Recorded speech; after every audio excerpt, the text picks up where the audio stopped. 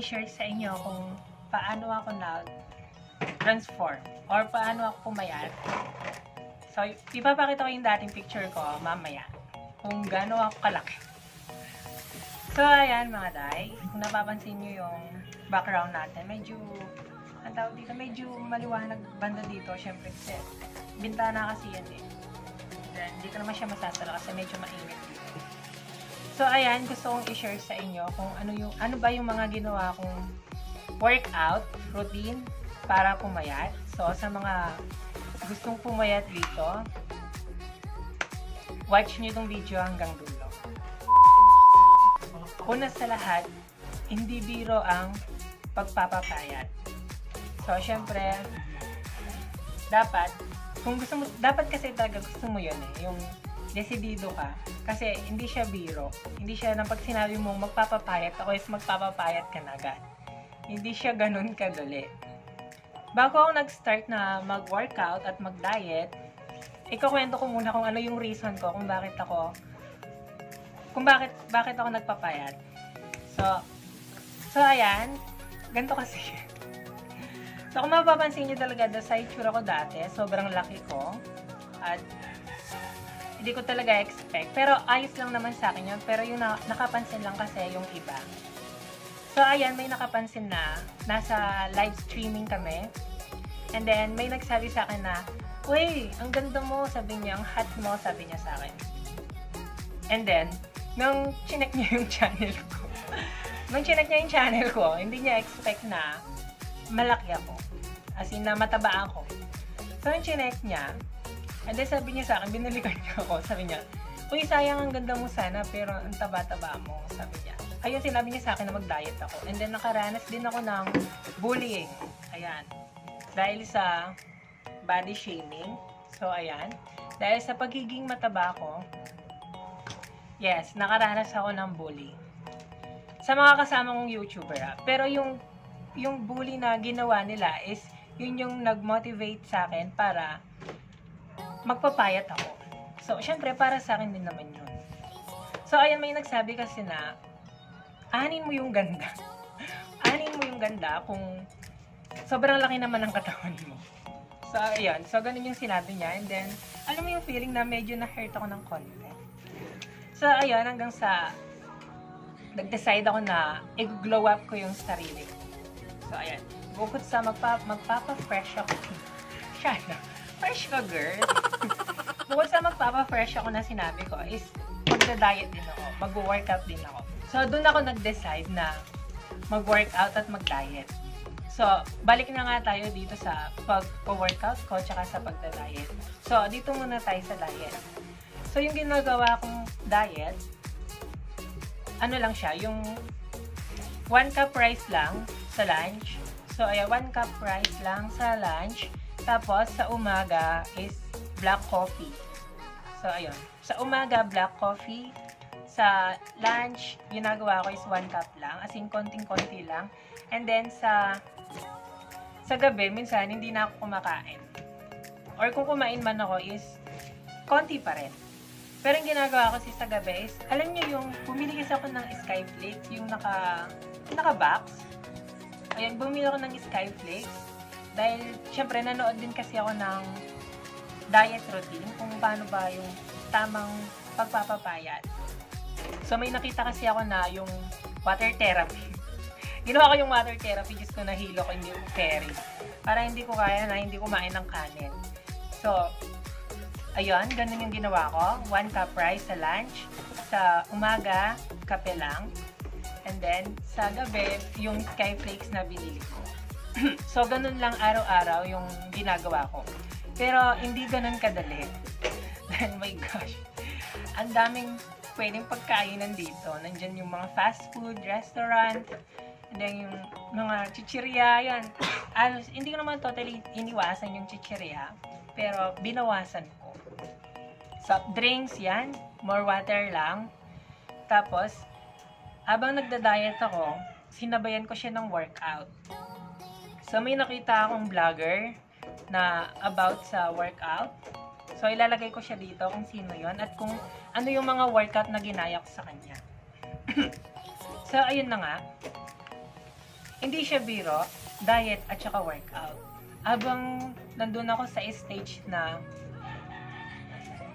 nahihilo ako. Siyempre dahil sa gutom, dahil sanay yung katawan mo na maraming yung kinakain mo, tapos bigla-bigla magbabago, di ba? Alam mo yon yung parang sa love lang. parang sa love lang na sanay ka, sanay ka na ganun siya, tapos bigla-bigla magbabago siya. Paano masabi? Char. Adjust ka din. So, ayun na nga. di yun, di, sanay yung sarili mo sa pagkain and then bigla-bigla magbabago, di ba? As in, nahihilo ako ng bongga. Yes, yun yung mga pakiramdam ko na na alam mo yun, yung parang kahit gustong gusto mong kumain, pinipigilan mo yung sarili mo. Siyempre, ganun naman talaga dapat. Dapat may disiplina ka sa sarili mo. Kung gusto mong makuha yung isang bagay, dapat talaga disidido ka. So, sa, sa workout naman, isa pa yun yung workout na yun. Diyos ko, nakakaloka siya. As in na, unang step pa lang, hindi ko na kinakaya. As in, my God, nakakaloka. Una kong, first time na ako nag-workout, after nun, sobrang sakit ng katawan ko. So, ayan, di sobrang sakit. And then, nag-ask ako sa kaibigan ko na kung bakit ba ganun? Well, ganun din pala na, tawag dito, once pala na una mo pa lang, is may hirapan ka talaga yung sasakit talaga yung pakiramdam mo, yung katawan mo. Pero normal lang naman daw yon that means daw na effective yung workout na ginagawa mo. So, di hanggang pinagpatuloy ko lang yun ng, ng one week. After one week, umiiyak, umiiyak ako. Kasi, hindi ko, ano tawag dito, yung, parang wala nagbabago. Parang gusto ko yung, pagka nag-workout ako, gusto ko payat na ako. parang ganun. Magic lang. So, ayun, parang walang nagbabago hanggang sa sabi ko, kaya ko ba to? Ayun, sinabi ko sa sarili ko na kaya ko ba? Bakit parang wala nagbabago? Pero syempre, dahil nga sa gusto ko talagang pumayat at gusto ko mag-glow up, tiniis ko yung hirap hanggang sa umabot na ng 15 days. 15 days, nakita ko na yung resulta na may nakakapansin na sa mga katrabaho ko na medyo pumapayat na ako. Kasi sabi nga nila na, uy, pumapayat ka na. Sabi niya, parang, ayun, ganun-ganun yung sinasabi nila. Tapos, edi natutuwa naman ako. O, di ba? Tapos hanggang sa, ayun, pinagpatuloy ko lang ng pinagpatuloy hanggang sa umabot ng one month. At, ayun, nakita ko na yung resulta sa mga pan, sa mga pantalon ko. sa mga pantalon ko dahil lumuwang talaga sila ng bongga. So, hindi ko na measure yung weight ko nung dati. Basta hindi ko basta ang gusto ko lang kasi talaga is pumayat. hindi hindi ako nag hindi ko tinignan yung timbang ko dati kung, kung ilan. Pero yung yung waistline ko sa pagkakaalam ko 32 ako dati. Pero ngayon nasa 29 na lang ganun. So ayan, 'di ba? From 32 yung waistline and then ngayon nasa 29 na lang siya. So, ayan, gusto kong i-share yung mga dati kong picture nung mataba ako, tsaka yung ngayon. Kasi, nung, nung, ang dito, nung pumayat ako at nag-glow up, o, oh, diba? Bonggang transformation. so, sinend ko yun sa mga kasama ko at gulat sila. At hindi nila expect na, Uy, sabi niya, alam mo yung nagsabi na, yun nga, yung ano mo yung ganda kung kung malaki naman yung katawan mo siya, mismo, siya pa mismo yung nagsabi sa akin na, Uy, ang ganda mo na. Sabi niya sa akin, oh, diba? Saan ka ngayon? siya. so, ipapakita ko sa inyo.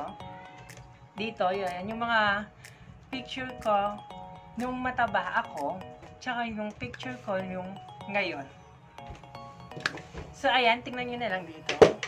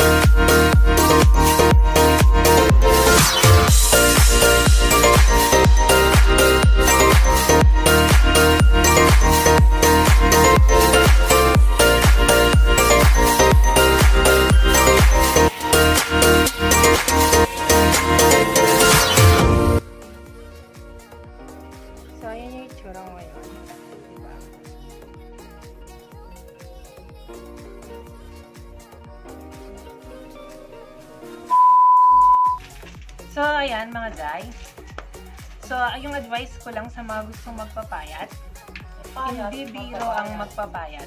Pero kung desidido ka, magagawa mo yan. Di ba ganun naman talaga? Lahat pinaghihirapan, hindi mo naman makukuha yung isang bagay ng madalian lang. Tsaka mas maganda yung pinaghihirapan mo at pag nakuha mo is worth it talaga. As in, mapapa, oh my gosh. Thank you, Lord. Mapapaganon ka talaga. As in, yes. So, so, ayan, kung gusto mong magpapayat, so, gawin mo lang, ayan, panoorin mo lang yung mga vlog nito, ayan, yung mga video nito. Hindi ko kasi kilala kung sino yung YouTuber na yun. Basta nakita ko lang siya sa YouTube. So, ayan, ilalagay ko na lang siya dito kung sino yon. So, madaming workout routine ang pwede mong makuha dyan. At syempre sa mga YouTuber na about sa workout, search, search lang. Ganun lang yung ginawa ko. So, yun, dahil sa pangbubuli nila, eto na ako ngayon, no, di ba? Sino ka dyan? so, salamat sa mga nagbuli sa akin na, yun nga, yung pagiging mataba ako at pagiging pangit ko dati. Nasaan na kayo ngayon? Maglaway kayo. so, yung outfit ko pala is ganito. Mukha lang siyang parang damit, pero pag tinaas mo yung ano, nakaganyan. Char. Ang init kasi, kaya nagganto lang ako. So, ayan, hanggang dito na lang yung video.